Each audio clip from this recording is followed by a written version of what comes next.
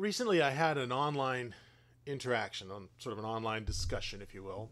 I had posted some material about the spring holy days, and a person out there responded and they were commenting on it. And They basically brushed everything aside and said, Oh, well, come on. What are you talking about? All that was settled at the Jerusalem conference in Acts 15. And this is a very common way of saying that God's Sabbaths, the seventh day Sabbath, and the holy days are no longer to be taught and promoted as the outworking of godly living by God's people. So I have a question, and I want to answer it. What did the Jerusalem Council decide? What did the Jerusalem Council decide? The Jerusalem Council was a was a meeting of church leadership that was convened sometime between 45 AD and 55 AD, sort of like what we do with the GCE. And that meeting was called, it wasn't like a regular annual meeting, but it was called on an ad hoc basis to settle some doctrinal disputes that were related to the inclusion of non Jewish people into the church. And a brief report of this council, this church council that happened way back then, and the decision that they came up with is found in Acts chapter 15. You might hear it called the Acts 15 Council, the Jerusalem Council, so forth, but it's recorded in Acts chapter 15. As I mentioned, the Jerusalem Council of Acts 15 is very often presented as a turning point in church history in which supposedly a very distinct break was made with the principles of teaching obedience to God's law. The Jerusalem Council argument, which I encountered online just last week, is very often trotted out to justify abandoning the seventh day Sabbath and the annual Sabbaths that we call holy days. And it's kind of just plopped out there and as the as the person I was in, dealing with said, well, that just settles everything.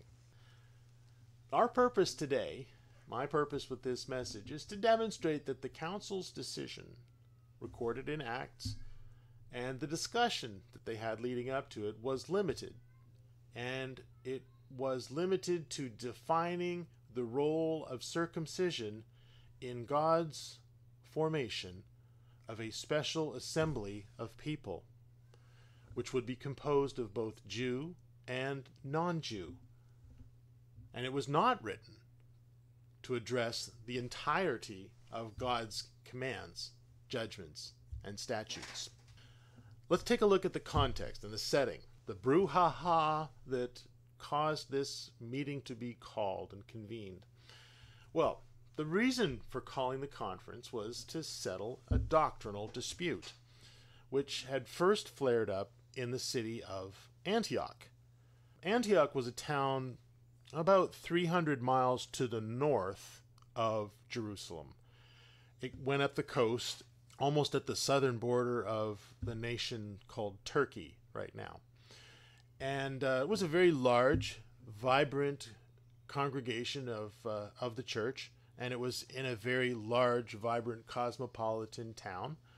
And the church was doing all kinds of great work in Antioch, proclaiming the message and drawing people to the truth, both Jews and Greeks and native peoples that were there. What happened was Christian teachers who had formerly been Pharisees came to the city of Antioch from Jerusalem. And Jerusalem was sort of the uh, headquarters church, you know, like home office for us, if you will. So these guys came down, Christian teachers, and they had been Pharisees before. They came to Antioch, and as we'll see later, they, they weren't sent by the church, they just went on their own volition. I don't know, they probably had heard about the positive news of what was going on in Antioch, and they wanted to make sure, I suppose, that the folks up there were doing things the right way. You know, the Jewish way, the, the Jerusalem way, the Pharisee way. I don't know. But they went up there and uh, they caused no small stir. Go to Acts 15 and uh, verse 1. It says, But some men came down from Judea. It says come down because Judea was like geographically higher on their like a mountainous area. So they came down from Judea and were teaching the brothers, unless you are circumcised according to the custom of Moses, you cannot be saved.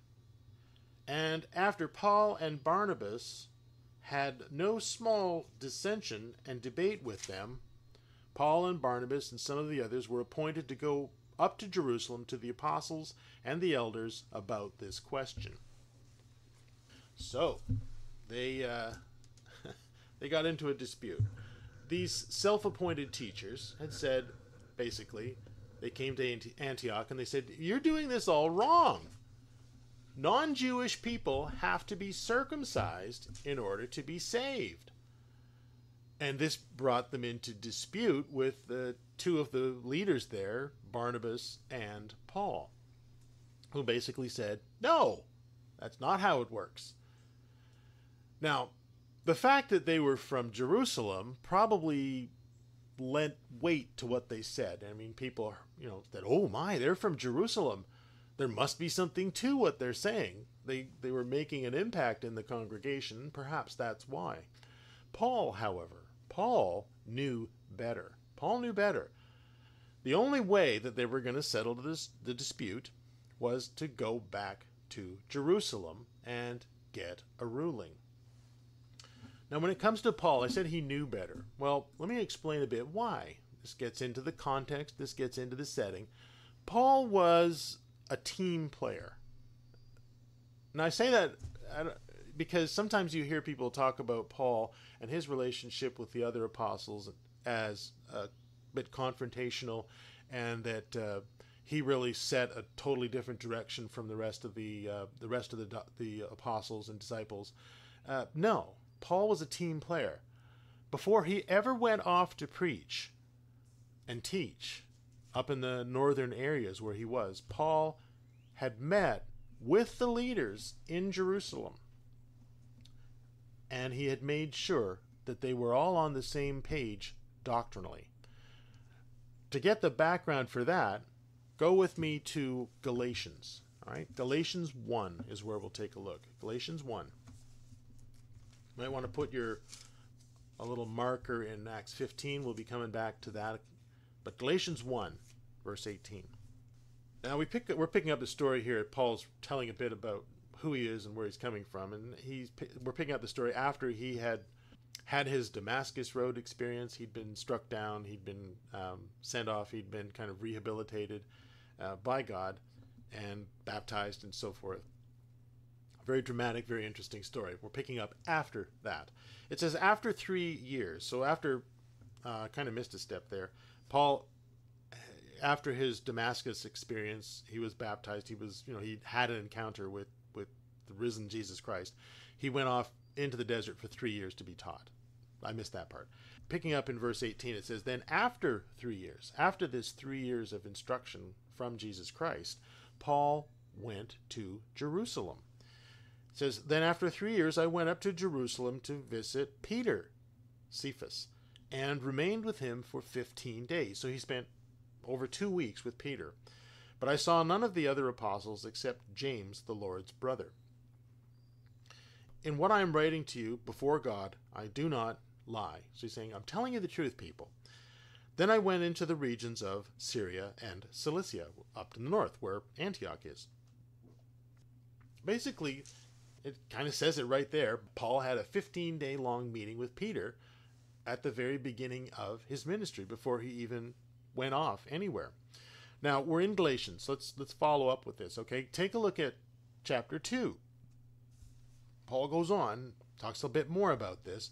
In Galatians 2, chapter, uh, sorry, Galatians chapter 2, verse 1 through 3, he says, Then after 14 years, so some time passed, he's been up in the north doing his, doing his thing, preaching, teaching. I went up to Jerusalem with Barnabas, okay, and taking Titus along with me. And I went up because of a revelation, and I set before them, though privately, before those who seemed influential. So he had a private meeting with the leaders of the church up in Jerusalem. Anyway, going on, he says, I set before them the gospel that I proclaimed among the Gentiles, in order to make sure that I was not running or had not run in vain. But even Titus, who was with me, was not forced to be circumcised, though he was a Greek. So, this is a private meeting that Paul had convened with the leadership in Jerusalem to make sure that he was on the same page doctrinally. This was, as it says, 14 years, so I think that's about 10 years after he had gone up to the northern area. And uh, then he comes back down, talks to them about what's going on in, in Antioch, in Syria, and so forth. And uh, circumcision definitely appears to be part of the discussion. He was there talking about the same issues. If you I'm not going to do it right now, but if you go and look at what's being addressed in the book of Galatians, it's the same issue. It's circumcision. But anyway, the point I'm trying to make is that Paul was not charging off on his own to teach uh, his own thing, which was contrary to what the other churches, other congregations of the Church of God were doing. He was working in cooperation with the leaders of the church with an approved message and practice. That's what he related in the book of Galatians, those sections that we just read. Anyway, back to the Acts 15 scenario. Okay? Let's pick it up in verse 3. Acts 15. Off to Jerusalem for an official ruling. They're headed off to Jerusalem. Now let's pick it up in verse 3. So, being sent on their way, so this posse went off to uh, get the resolution. So, being sent on their way by the church, they passed through Phoenicia and Samaria, describing in detail the conversion of the Gentiles, and brought great joy to all the brothers. When they came to Jerusalem, they were welcomed by the church and the apostles and the elders, and they declared that all that God had done with them. But some believers who belonged to the party of the Pharisees rose up and said again, It is necessary to circumcise them and to order them to keep the law of Moses. So they've headed on back up to Jerusalem, and the case has been laid out. Okay, these guys are teaching the wrong stuff. They need to teach people to get circumcised. The accusation is put on the table. Now, when you when you read that, there's a I don't know if this really makes it whole lot of difference, but I believe there are more than one way that you can interpret verse five, which I, I think is a, a, very important verse, uh, which says, "But some believers belong to the party of the Pharisees rose up and said, It is necessary to circumcise them and to order them to keep the law of Moses." Uh, w- one way you could you could read that, and it's more a matter of emphasis, if you will, is uh, you could read it you need to circumcise them and also command them to keep the law of Moses. Or you could interpret it as um, well, you need to circumcise these people or teach them circumcision and thereby keep the law of Moses. It's a very subtle difference, but I think it, it does kind of, the nuancing of that does shade the way you interpret the rest of what's going on. Either way works, though. I mean, my argument is not contingent upon emphasizing it the way I emphasize it. All right, moving right along, we'll pick up the next section, which is basically Peter and then Paul and Barnabas testifying before the council. So they are laying their case out on the table. Acts 15, let's read verse 6 through 11. The apostles and the elders were gathered together to consider this matter. And after, after there had been much debate, Peter stood up and said to them, Brothers, you know that in the early days God made a choice among you that by my mouth, Peter's mouth, the Gentiles should hear the word of the gospel and believe. And God, who knows the heart, bore witness to them by giving them the Holy Spirit, just as he did to us. And he made no distinction between us and them having cleansed their heart by faith. Now, therefore, why are you putting God to the test by placing a yoke on the neck of the disciples that neither our fathers nor we have been able to bear. But we believe that we will be saved through the grace of the Lord Jesus, just as they will. Peter's referring to his own personal experience with the calling of Gentile people, non Jewish people. He's speaking of the conversion of the Roman centurion, Cornelius, and Cornelius's household, his family. That Gentile household had received the life giving deposit of the Holy Spirit, even though they were uncircumcised. And that occasion was marked by signs and wonders, which were provided by God to prove that this was indeed His will for the Gentile people. Let's just take a brief look at that in Acts 10, okay? And let's read verse 44 through 48.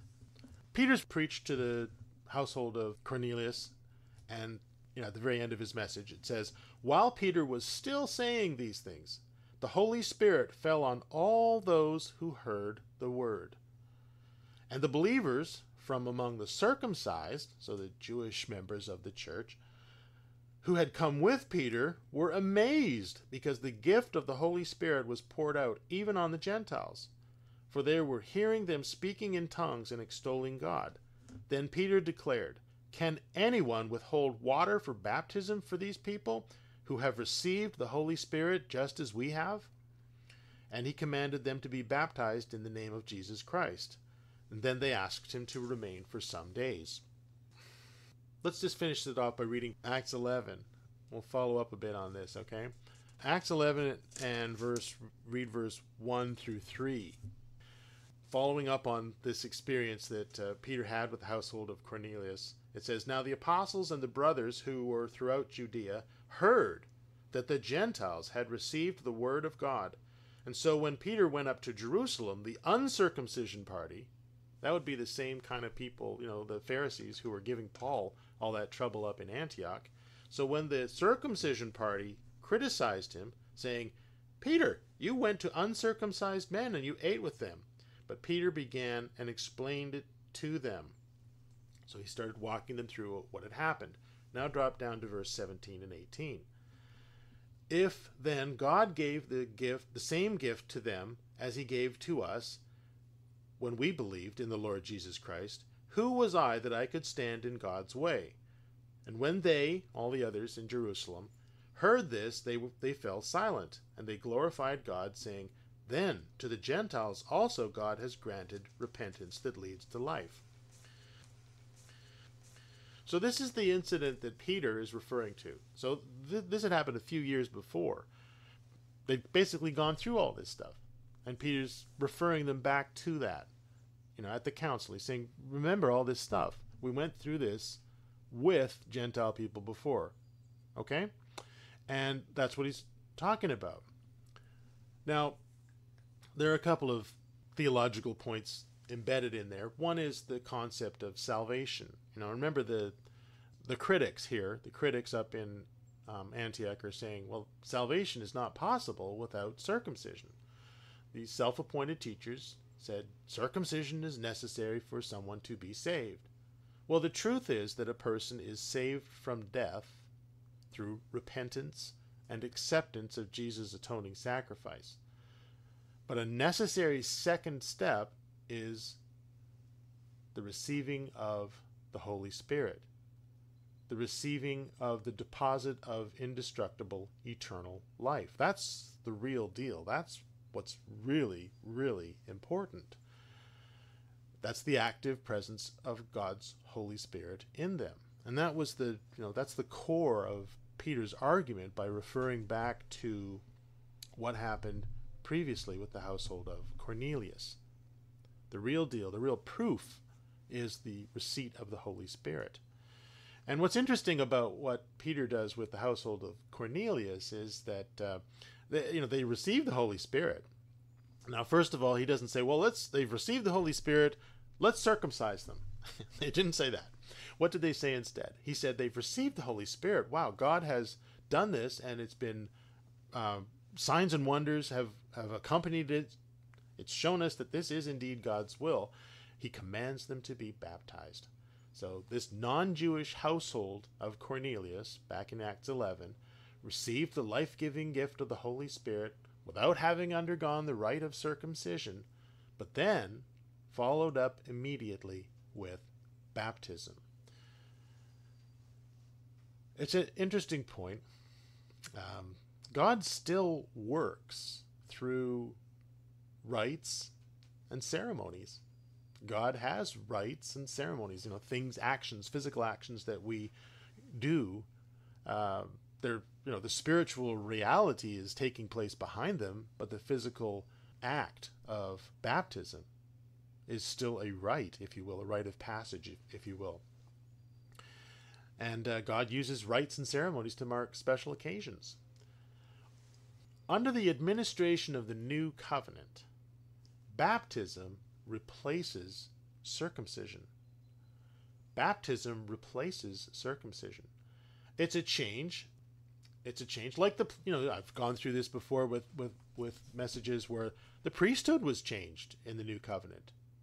The sacrificial system was changed. They weren't done away with, they were changed. Well, circumcision has been replaced with baptism. And baptism is now the outward sign of inclusion in the people of God. Let's go quickly to Colossians 2, verse 11. Colossians 2, verse 11, and let's read verse 11 and 12. Paul, writing here, says, In him also you were circumcised without the circumcision. Sorry, blah. let me try that again. It says here, In him you were circumcised with a circumcision made without hands by putting off the body of the flesh by the circumcision of Christ, having been buried with him in baptism, in which you were also raised with him through faith in the powerful working of God who raised him from the dead. That's a key scripture. And that is uh, basically telling us that circumcision is replaced by baptism as the sign of um, I don't know, the declaration of intent, the the sign of the new covenant. Uh, I don't know, those aren't precise terms, but you, I think you get the drift. All right, let's go back to Acts 15. So I've, I've spent this section there explaining what, what was Peter referring to. He was referring to the previous incidents that they had had, he had had personally, with the conversion of Gentiles and them being included in the church. Okay, now the next section here in Acts 15, let's pick it up in verse 12. All right, verse 12. Barnabas and Paul are going to testify. And all the assembly fell silent, and they listened to Barnabas and Paul as they related what signs and wonders God had done through them among the Gentiles. And after they finished speaking, James replied. All right, so we don't get a lot of detail about what Paul and Barnabas said, but uh, basically, they're using a very similar argument to Peter's argument, which is first, okay, there were baptized Gentiles in Antioch, all right? And two, these baptized gentle, Gentiles had received the Holy Spirit of God. And three, that God had clearly ratified the change and the change in procedure through signs and wonders. That, that was brought out in the testimony of Paul and Barnabas. Signs and wonders had accompanied what was going on in Antioch, where they were not circumcising Gentiles. Those signs and wonders were a way in which God was proving, yes, this is my will. He'd already done it in Acts 11 with Peter, but Paul and Barnabas are saying, no, the same thing's happening up in Antioch. So their argument is very much the same. So the next person to get up and speak at the council meeting is James. James. And James kind of acts as a moderator, if you will, and he proposes a settlement to this whole issue. All right, let's pick that up. Uh, well, first let me let me just go over what it is. All right, I want I want you to think about what he's really saying, and then I want to read through the scripture. So James basically he affirms Peter's testimony, which is that God is calling Gentiles into the Israel of God, which is the, the church. you know, the church is now the holy nation and the chosen people of God. And it is to be composed of all peoples and all nations, not just Jews. And then James goes on to refer to one of the many prophecies which foretell this change in administration. And we'll read that, but he's quoting from Amos chapter 9, verse 11 through 12. James then goes on to make a proposal, gets down to brass tacks. He goes on to propose that they pass a resolution and that they confirm it in writing, saying, Gentiles do not have to undergo circumcision. However, he goes on, there's more. However, they do have to continue observing other regulations from the law of Moses concerning, specifically, concerning Gentiles who choose to live peaceably among the people of Israel. And those regulations that he refers to are regulations that are found in Leviticus chapters 17 and 18, part of the holiness code, the law of Moses. And then finally, in verse 21, James calls upon the law of Moses as a justification for making this resolution, saying, in effect, everybody knows what the law of Moses says on these matters, since it is preached to people on a weekly basis. And with that, I mean, that's kind of my executive summary, or well, paraphrased summary, that's better. My paraphrased summary. So rather than doing away with the law of Moses with this last statement, the council, through James, are actually justifying the content of their resolution by appealing to the law of Moses as validation. Now, now that I've told you what to expect, Let's read it. Let's take a look at verse uh, 13 through 21. It says, After they finished speaking, James replied, Brothers, listen to me. Simeon has related how God first visited the Gentiles, that's Peter, to take from them a people for his name. And with this, the words of the prophets agree, just as it is written. Uh, this is his quotation here. After this I will return, and I will rebuild the tent of David that has fallen. I will rebuild its ruins, and I will restore it, that the remnant of mankind may seek the Lord, and all the Gentiles who are called by my name, says the Lord, who make these things known from of old. So he's referring back to this prophecy from Amos. And then he goes on, verse 19 Therefore, my judgment is that we should not trouble those of the Gentiles who turn to God, but should write to them to abstain from the things polluted by idols, and from sexual immorality, and from what has been strangled, and from blood. For from ancient generations Moses has had in every city those who proclaim him, for he is read every Sabbath in their synagogues. So this is what James proposes. Now I mentioned the four regulations from from um, Leviticus, the four regulations required of Gentiles. Let's take a look at those. I want to just do that, just so you see that this is definitely referring back to the law of Moses. Go to Leviticus 17. We won't go through every last inch of it, but in Leviticus 17, let's take a look at this. Uh, let's take a look at food polluted by idols, okay? It says in Leviticus 17, verses 1 through 8 And the Lord spoke to Moses, saying, Speak to Aaron and his sons and to all the people of Israel, and say to them, This is the thing that the Lord has commanded. If any one of the house of Israel kills an ox or a lamb or a goat in the camp, or kills it outside the camp, and does not bring it to the entrance of the tent of meeting, to offer it as a gift to the Lord in front of the tabernacle of the Lord, blood guilt shall be imputed to that man. He has shed blood, and that man must be cut off from among his people. This is to the end that the people of Israel may bring their sacrifices that they sacrifice, that they're currently sacrificing out in the open field, that they may bring them to the Lord, to the priest at the entrance of the tent of meeting, and sacrifice them as sacrifices of peace offerings to the Lord. And the priest shall throw the blood on the altar of the Lord at the entrance of the tent of meeting, and burn the fat of the pleasing aroma to the Lord. Verse this is important, verse 7. So that they no more sacrifice their sacrifices to goat demons. So they so they stop sacrificing meat to demons and idols after whom they whore. And this is to be a statute forever for them throughout their generations. And you shall say to them, Any one of the house of Israel, or of the strangers who sojourn among us, who offers a burnt offering or sacrifice, and does not bring it to the entrance of the tent of meeting to offer it to the Lord, that man shall be cut off from his people. So, this is a law that says even people who were just visiting in Israel, not Jews, not Israelites, people who were just passing through, travelers, maybe migrant workers, they had to obey this law. Let's take a look at um, the, the other one that James mentioned eating of blood. Okay, eating of blood. Drop down to verse 10. It says, If any one of the house of Israel or of the strangers who sojourn among us or among them eats any blood, I will set my face against that person who eats blood and will cut him off from among the people. Then he explains because the blood is the life, and the life is the essence of the sacrifice.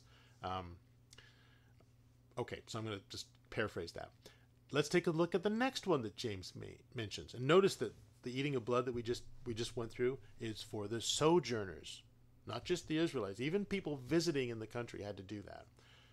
All right, meat from strangled animals. That's interesting. Uh, take a look at verse 13 verse 13 of Leviticus 17. It says, Any one of the people of Israel, or of the strangers who sojourn among them, who takes in hunting any beast or bird that that uh, may be eaten. So if they, you know, get clean game like a deer or something like that, they take this clean animal in hunting, uh, or a bird that may be eaten. They shall pour out its blood and cover it with the earth. Right? for the life of every creature is in the blood. And if you don't do that, God is very, very angry. So this is another rule that is for sojourners, as we read. And um, James says meat from strangled animals. Well, basically, what he's talking about is uh, animals who are killed so that they still have their blood in them. And, you know, there was a time when people did that. They would kill an animal by strangling it so that none of the none of the blood drained out because they wanted to eat the blood. They wanted it in the meat because it would make it um, more protein. I don't know. I, have never tried it, so I don't know what it tastes like. But uh, the example in Leviticus 17 is talking about um, wild game, so non-sacrificial animals who do not have blood drained from them. That's a no-no. God says no, you don't do that. And this is something even for Gentiles. All right, one last one, okay?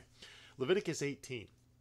Now, I'm not going to read Leviticus 18, but if you read it yourself, verses 1 through 30, it's all about sexual immorality, right? And if, you know, it says basically that people, you can't have sex with family members, you know, can't have sex with your grandchildren or your uncle or your aunt or your daughter or your mother or, you know, all kinds of stuff like that. And also, there's a few other things, you know, animals but it's talking about this kind of sexual perversion. And in verse 26 it says, Okay, but you shall keep my statutes and my rules and do none of these abominations. So God says, Don't do this bad stuff. Either the native, so you Israelites, or the stranger who sojourns among you. For the people of the land who were before you did all these abominations, so that the land became unclean. So those are the four regulations that James is talking about. And uh, these are laws of cleanness and holiness for Israel, which even sojourners, travelers, migrant workers had to observe if they were in the land of Israel. So a non Jew, you know, even if he was there temporarily, he had to do these things so that he would not defile the land. But, you know, people like that, by comparison, they were not expected to participate in the um, religious life of Israel, right? Uh, a person like that, a sojourner, a traveler, someone who's passing through, migrant worker, was not expected to observe the Passover, for example. Uh, if if someone wanted to observe the Passover, they had to be circumcised. If someone wanted to participate in the religious life of Israel, they had to go the whole nine yards. They had to be circumcised and thereby, you know, enter into the covenant. Uh, you can read that little stipulation there in Exodus 12, verse 48. I'll let you do that on your own, okay? So circumcision had been a sign of inclusion in the holy nation and the covenant people. It changed though, because under the new covenant, that sign was changed to baptism. You might think of it like the changing of the Passover symbols. The symbolic lamb of the Old Testament Passover is changed to this symbolic bread and wine of the New Testament Passover. Okay, let's get back to Acts 15. Acts 15, and we'll pick it up in verse 22. The church passes their resolution. Verse 22 and verse 23 says, Then it seemed good to the apostles and the elders with the whole church to choose men from among them and send them to Antioch with Paul and Barnabas.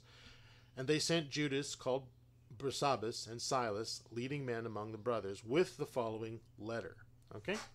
So they, they had a letter. They wrote it up. They wrote this resolution. They proposed it. They formalized it in writing. And what they were going to do is they were going to send Paul and Barnabas back to Antioch with the resolution in writing, which would settle the matter. And they also included two witnesses from the Jerusalem area to testify and verify that the letter was was legit, you know, so that Paul and Barnabas couldn't be accused of trickery. Let me read the resolution for you. What did they write? Okay, verse 24. 23, I'll pick it up in 23. So with the following letter. The brothers, both the apostles and the elders to the brothers, who are of the Gentiles in Antioch and Syria and Syria and Galatia, greetings. Since we have heard that some persons have gone out from among us and troubled you with words, unsettling your minds, although we gave them no instructions. So he's saying, okay, some people came, they you know, they might have come from Jerusalem, but we didn't send them. It seemed good to us, having come to one accord, to choose men and send them to you with our beloved Barnabas and Paul, men who have risked their lives for the name of our Lord Jesus Christ, and we have therefore sent Judas and Silas, who themselves will tell you the same things by word of mouth. For it has seemed good to the Holy Spirit and to us to lay upon you no greater burden than these requirements that you abstain from what has been sacrificed to idols, from to abstain from blood, and from that which has been strangled, and from sexual immorality. If you keep yourselves from these things, you will do well. That's the letter. That's the letter. It uh, starts off referring to the controversy that precipitated the decision. You know, it separate kind of says this this wasn't from us. Then it identifies the witnesses who will be coming along to verify that the letter's legit, and then it renders the decision, which is actually only two verses long. Two verses long, which is basically saying no to circumcision, right? Concerning the matter that came to us. Little, little bit tangential, but uh, no to circumcision, no to circumcision, yes to the other regulations which are related to cleanness and holiness before God, which is required even for Gentiles. Interesting, isn't it? Let me make an appeal to to reason, your reason. And if you've ever heard this argument, if you've ever thought about it, perhaps been confused by the letter, um, hopefully the context and the setting has has helped see what the letter is. But let's let's just think about this reasonably. Some say that the resolution that we just read, recorded in the book of Acts, formalizes the abolishing of any and every commandment, statute, or judgment found in the Old Covenant. Except, uh, of course, uh, idolatry, eating blood, and sex, perversion, sexual perversion. Well, frankly, folks, that is a teaching of lawlessness.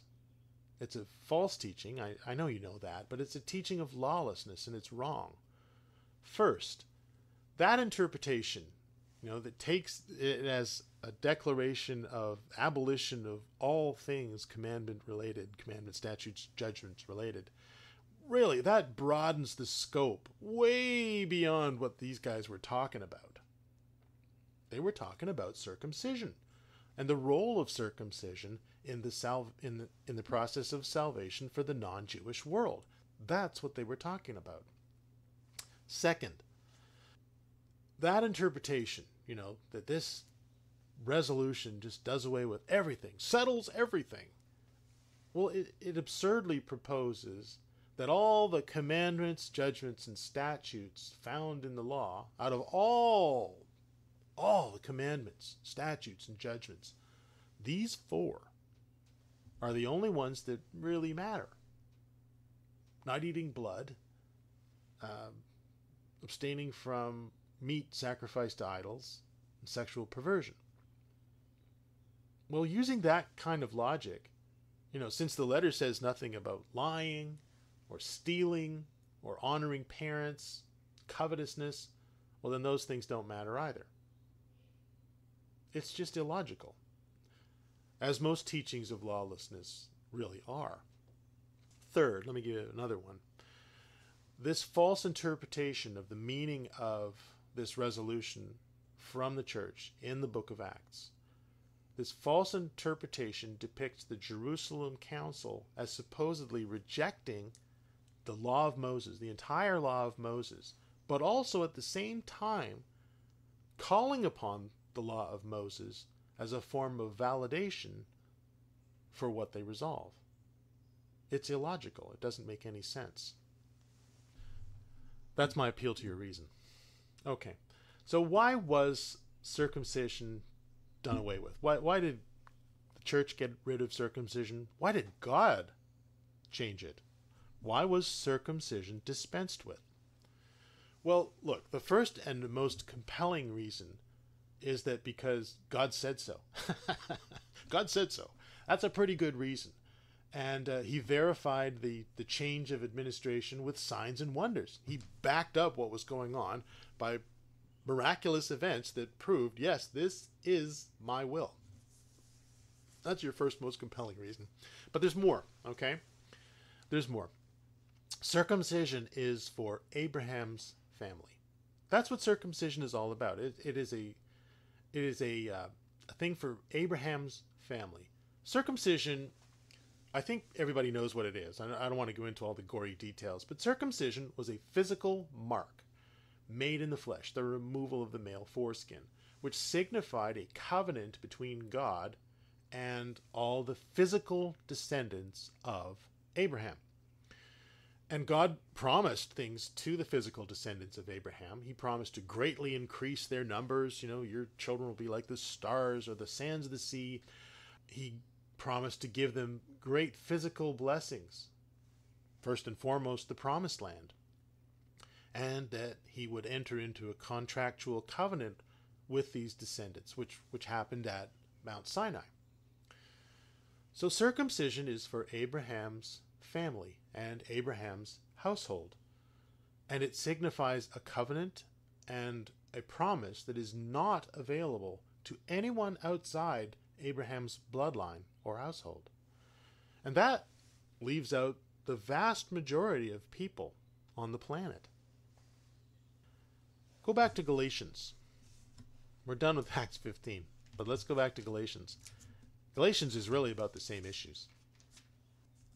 It gets into more of the reasons why, though, the theological reasons why. Galatians 3, verse 5. Let's read verse 5 through 9, okay? Which says, Does he who supplies the Spirit to you and works miracles among you, do so by works of the law or by the hearing of faith. Just as Abraham believed God, and it was counted to him as righteousness. Know then that it is those of faith who are the sons of Abraham. And the scripture, foreseeing that God would justify the Gentiles by faith, preached the gospel beforehand to Abraham, saying, In you all nations all the nations shall be blessed. So then, those who are of faith are blessed along with Abraham, the man of faith. So, within God's promises to Abraham, there's this reference to something bigger. And that something bigger comes through the Messiah. Go down to verse 16. Verse 16 of Galatians 3, where it says, Now the promises, he's referring back to this, this uh, the first re- the first promises that God made to Abraham. Now the promises were made to Abraham and to his offspring. You can read that in Genesis. the promises were made to Abraham and to his offspring. But it does not say and to offsprings. Not it was not plural, but referring to sorry, it does not say and to offsprings referring to many, but referring to one and to your offspring. And that offspring is Christ. What Paul's getting at is he's saying the promise that God made to Abraham that all nations would be blessed would come through the Messiah, the Christ, who would be a physical descendant of Abraham. This descendant of Abraham would be a blessing for all peoples, not just the bloodline of Abraham. And at the appointed time, through Christ, God would initiate the new covenant. A covenant which all people would and could enter into Jews, Gentiles, you know, Greeks, Romans, Lithuanians, South Americans, slave people, free people, males, and females. It was open to everybody. And the basis, the basis of their inclusion in the new covenant was faith. Faith. What is faith? Well, that they would hear and that they would believe and that they would do. That's what faith really is. To hear, believe it, and do it. And those people, people who do that, such people, they would be considered the true children of Abraham, the spiritual children of Abraham. As Jesus said to the Jews, you know, when he was talking to them, you know, they were very pleased with themselves because they were physical descendants of Abraham. And he said to them, If you were children of Abraham, you would do what Abraham did, but you don't.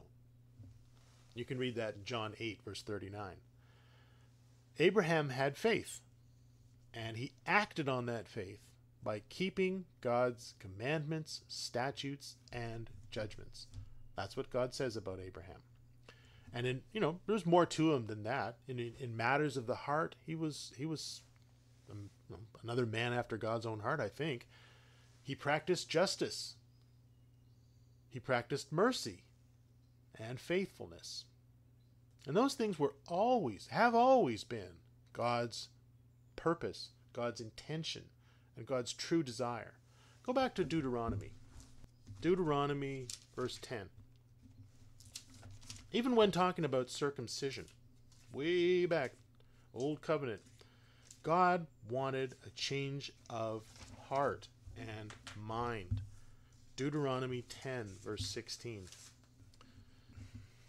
Way back in the Old Testament, Pentateuch, Law of Moses, verse 16. Deuteronomy 10. Circumcise therefore the foreskin of your heart, and no longer be stubborn. God wanted a change of mind, change of heart. That's what he was looking for. Another one. Go to chapter 30, verse 6. Along the same lines here. It says, And the Lord your God will circumcise your heart and the heart of your offspring, so that you will love the Lord your God with all your heart and with all your soul and that you may live. A change of mind, change of heart, repentance, has always been the real goal. And it still is. Now, the sign of that change of mind is baptism. Under the terms of the new covenant, the sign, the outward sign, just as circumcision was meant to be an outward sign of inward change, well, baptism is the outward sign of inward change. What God wants to see is the inward change. Yes, God works through rites and ceremonies and special occasions and so forth, but what He really wants from each and every one of us is a change of mind and a change of heart. He wants us to become like Him, become different. And, uh, you know, baptism, well, it's the sign of a, a new covenant for everyone Everyone who repents, everyone who has this change of mind, everyone who becomes a true spiritual child of Abraham, the sign of that change of mind is baptism. For everyone who repents, who believes, and allows God to write his laws on their hearts and on their mind. And that is what the resolution of the Acts 15 Council was about. That's what they settled.